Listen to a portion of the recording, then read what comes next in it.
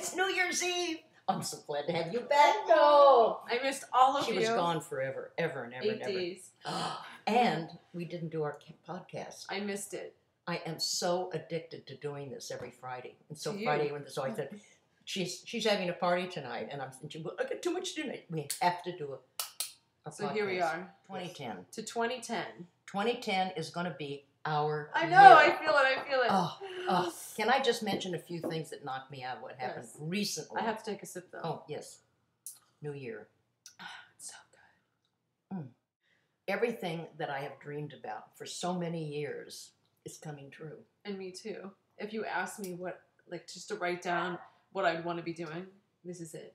Is this, is this amazing? If you were to say to me that I would get my art out of storage, that I would be making my, my memoir into an ebook, that our website would be soaring, Can't? can you imagine anything No. better?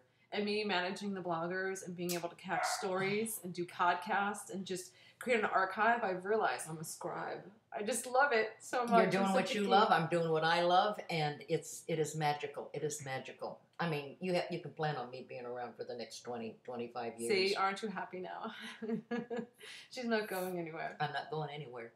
Nope, not at all. Oh, see, our guests are arriving. That's all right. So, all right. So we don't have to do a very long podcast. It's I'm No. I'm glad to have you back home. I'm glad to be home. And 2010 is going to be a very good year for all of us. Okay. Happy New Year. Here's to doing what you want to do. Mhm. I love that. Yay! Yes, do what you want to do. Do exactly what you want to do. Don't waste a minute. That's happiness. Do it again. Happy New Year. Happy New Year. I love the sound.